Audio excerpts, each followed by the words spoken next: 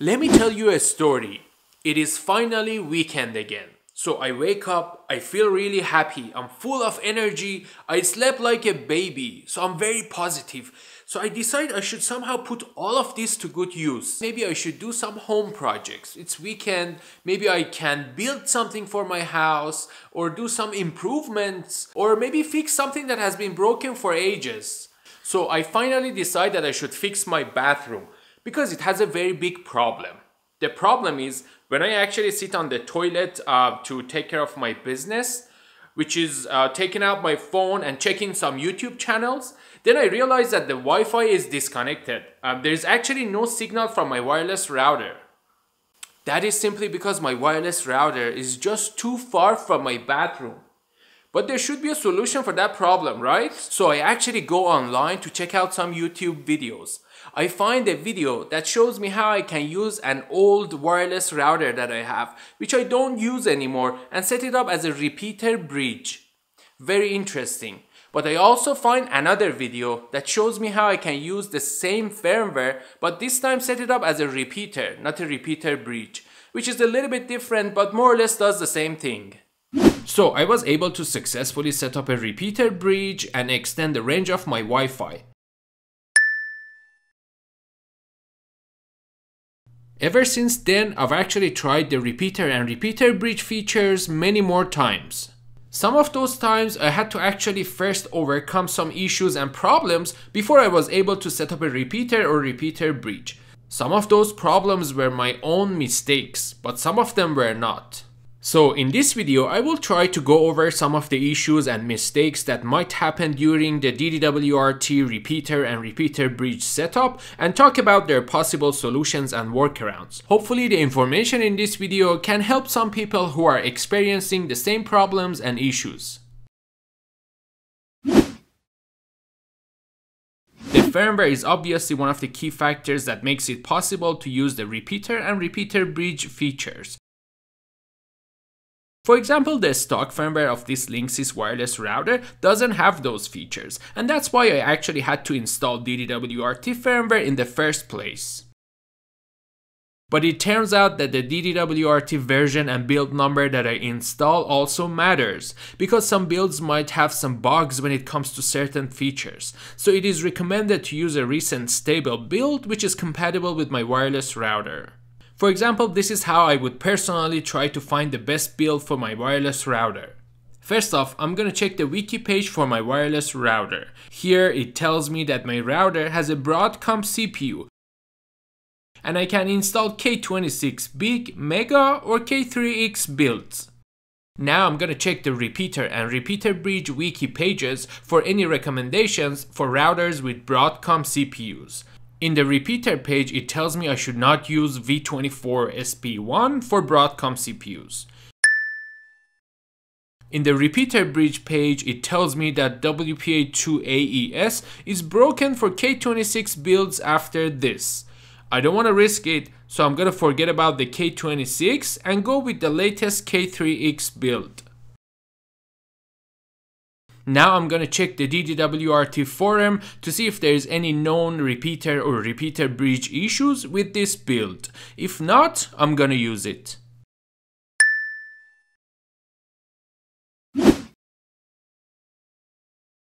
Some people might notice that when they log into their router and go to the wireless and basic settings tab, there is no repeater or repeater bridge options there. But that doesn't necessarily mean that we cannot use that router as a repeater or repeater bridge.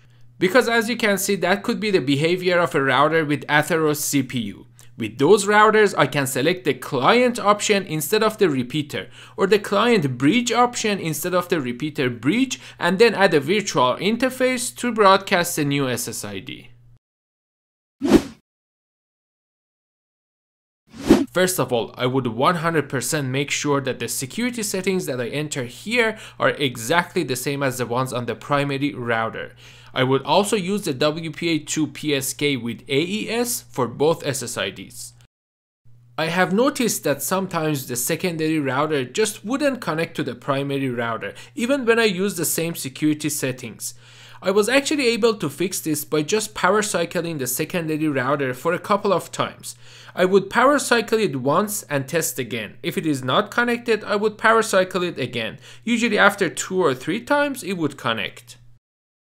But sometimes I've seen that the routers are connected to each other fine. Even the wired clients here are connected fine, but the wireless clients have problem connecting to the repeater.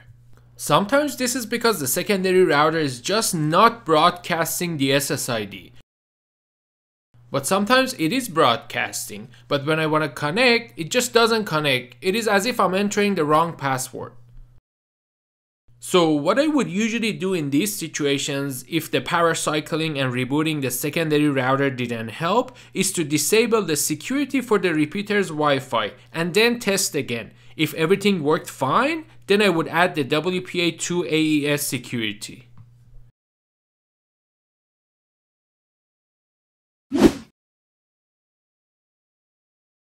So one of the differences between the repeater and repeater bridge is actually in the network setup.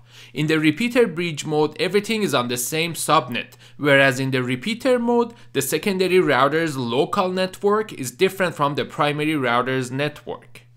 So if I do something wrong when I configure the network in either of the modes, then it can cause problems. So I need to make sure that I've done it properly and not by just guessing and hoping using a random IP address would be enough. For example, in the repeater bridge mode, everybody is on the same subnet. There is no WAN configuration needed for the secondary router. Basically, it doesn't need a WAN IP address. The only thing that I will give it would be a local IP address, which has to be on the same subnet as the primary router. For example, if this is the primary router's network, I can assign 192.168.1.2 to the repeater. Subnet should be the same as the primary router. Gateway and DNS would be the IP address of the primary router. Whereas in the repeater mode, there is going to be a WAN IP address and a local IP address. The WAN IP address would be on the same network, same subnet as the primary router. By default, it is in the DHCP mode, which means it will be assigned automatically by the primary router's DHCP server. The local IP address, on the other hand, has to be on a different subnet. For example, this one, this one, or even this. Anything which is different from the primary router's subnet should work. Okay, so let's quickly recap what happened in this video. Setting up a repeater or repeater bridge is a very helpful way to extend the range of our Wi-Fi.